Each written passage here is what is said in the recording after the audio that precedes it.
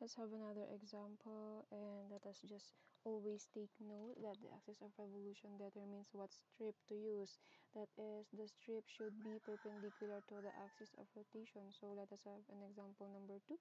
Find the volume of a sphere revolved about the y-axis using circular disk method. Let us recall the standard form for a circle which is x minus h squared plus y minus k squared is equal to r squared where r there is the radius and that is the center is at hk if the center is at the origin your standard form will become x squared plus y squared is equal to r squared. Let us just fix that. That is plus y squared is equal to r squared. Okay if um, this is your Cartesian plane if that is the center at the origin origin that is your circle.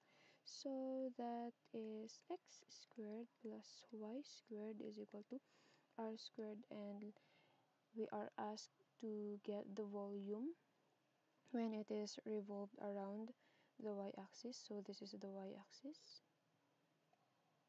So if that circle is revolved it will become a sphere. So if that is the axis of rotation what are we going to use? Vertical or horizontal strip? So we're gonna use horizontal strip since that is perpendicular to y-axis.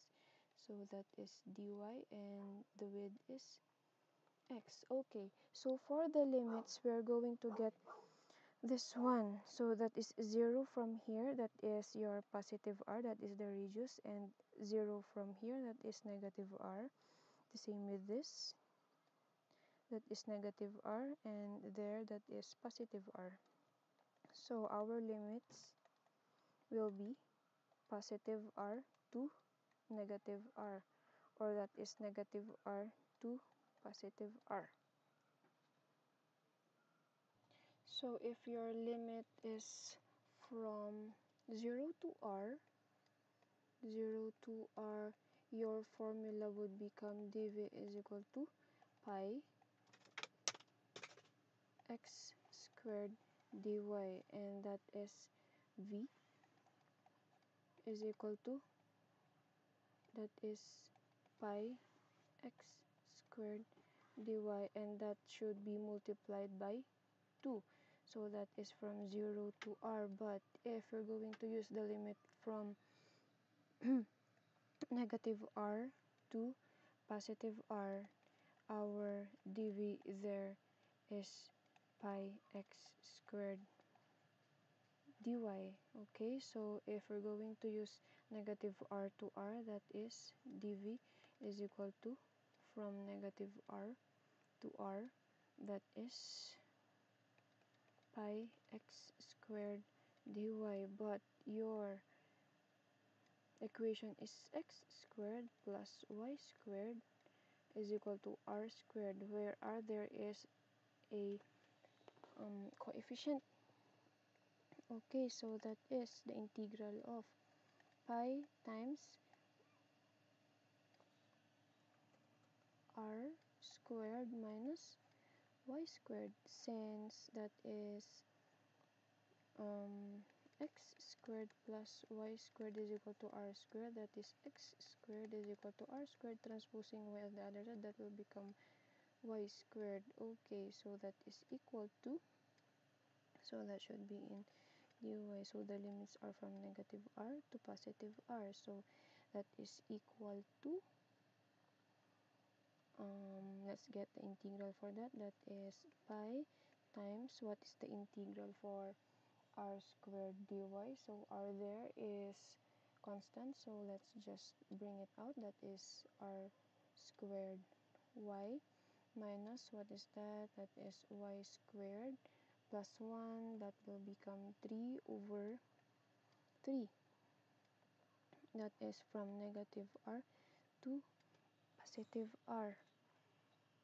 So if we're going to substitute the value of negative r and r to y, that will become is equal to pi times r squared times what is the y that is upper y upper minus y lower that is r minus what is your y upper that is r cube over 3 minus what is your y lower that is um, r squared times negative r minus that is negative r cube over 3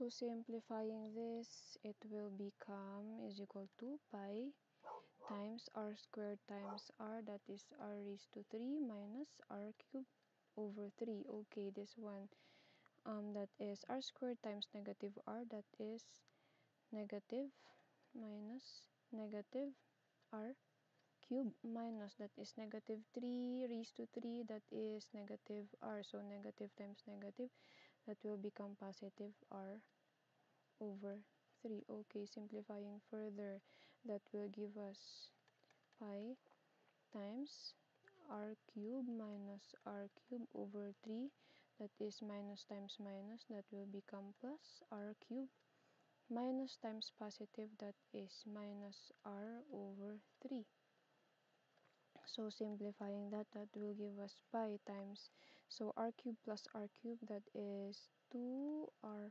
cube and the same with this that is minus um 2r cube over 3 so getting the least common denominator it will give us over 3 so 3 times 2 that is 6 r cube minus 3 divided by 3 that is 1 times 2 that is 2 r cube. So it will give us pi times 6 minus 2 that is 4 r cube over 3 so the volume is equal to 4 over 3 pi r cube which is the formula for sphere